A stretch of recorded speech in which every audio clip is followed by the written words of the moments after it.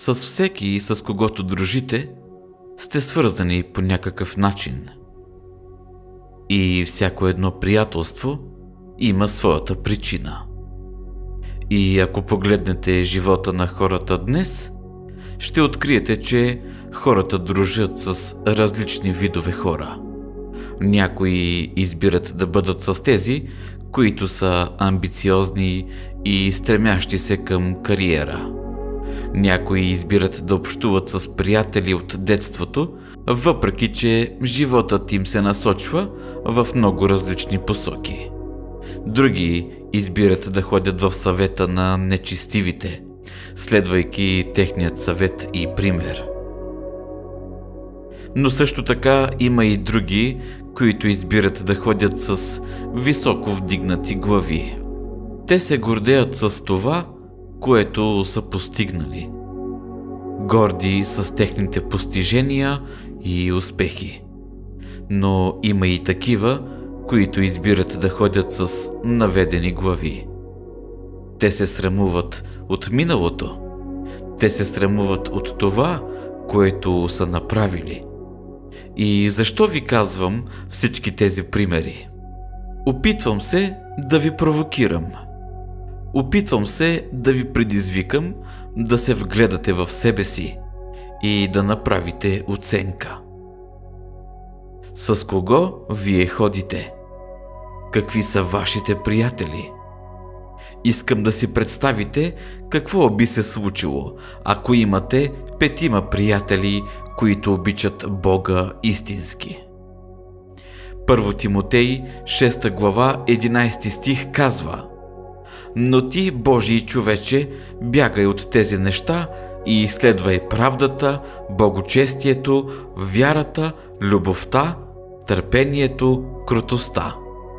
Павел тук пише писмо директно до Тимотеи. Затова го нарича Божий човече.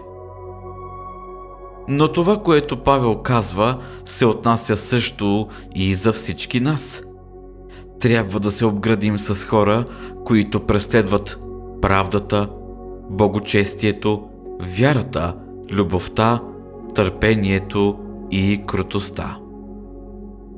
Така че, ако се обградим с приятели, които преследват тези неща, ние също ще го правим.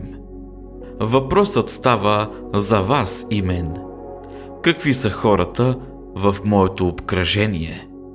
С каквито хора сте обградени, такива ще станете. Ако се обградите с хора, с лоша нагласа към Бог, става много лесно за вас, вие също да се адаптирате към техните нагласи. Обаче, ако се заобиколите с хора, които сочат към Бог, вие също ще бъдете такива. Ако се обградите с хора, които имат лоши навици, вие също ще възприемете тези навици.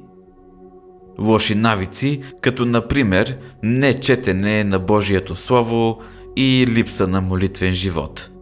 Но ако се обградите с хора, които четат Словото всеки ден и се молят често, вие също ще го правите. Една развалена ябълка може да развали всички останали. Обаче, куп добри ябълки се предпазват една друга. Един от най-добрите начини да живеете богочестив живот е да се обградите с други, които живеят богочестив живот. Така че насърчавам ви да ходите с Бог.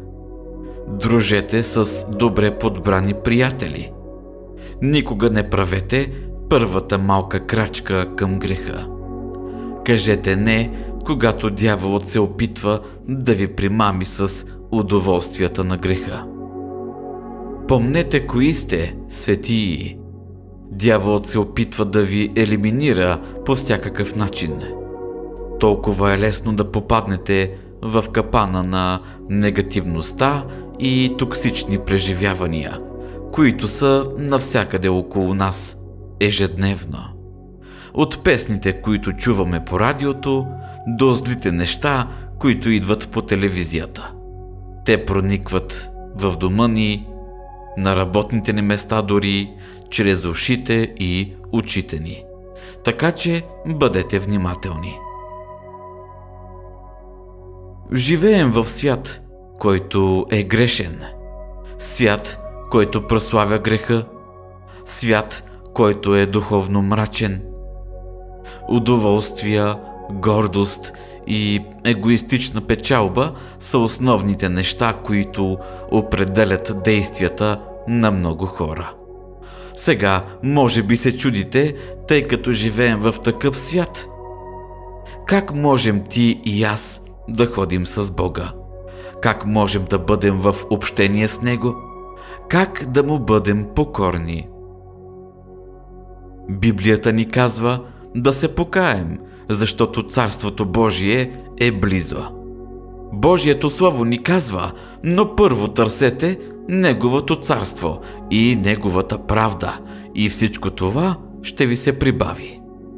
Библията ни казва да не ходим по съвета на нечестивите, нито да стоим в пътя на грешните, нито в събранието на присмивателите да не стоим. Така че, за да можем наистина да ходим с Господа, ние трябва да обърнем гръб на света и на това, което Той ни предлага. Трябва да се отвърнем от нещата, трябва да се отвърнем от всичко, което ни отделя от Христос. Отвърнете се от всичко, което се опитва да ви откаже от ходенето с Исус. Отвърнете се от греха и ходете с Исус. Направете каквото е необходимо, дори ако това означава да бъдете подигравани и усмивани. Направете каквото е необходимо, дори ако това означава да страдате и да бъдете смятани за изгнаник. Защото въпреки, че цената е голяма, наградата е още по-голяма. Няма по-голяма кауза от това да дадеш живота си на Исус Христос. Замисли се и ще видиш, че това, което печелиш, струва много повече от това, което губиш. Исус ти дава радост, която не зависи от обстоятелствата. Той ви дава любов, която никога не сте изпитвали. Той придава на живота ви цел и смисъл но най-важното, той ви дава вечен живот. И това е много по-скъпо от всяко богатство и всичко друго на земята. Това е наградата, която ни очаква, ако носим кръста си и правим каквото е необходимо, за да го следваме. Животът наистина е свързан с избори. Къде ви води вашият избор? Дори и когато сте в борба, ще изберете ли все още да се доверявате на Исус за изход? Ще изберете ли да се покланяте, да се молите? Вчера е в миналото. И да, ние се борим с нашите решения, но имаме сила над врага. Дадена ни е власт да победим всеки и всичко, което може да ни изкуши да вземем грешен избор и да рискуваме взаимоотношенията си с Бог. Вижте, няма проблем в това да се борите, за да вземете правилни решения.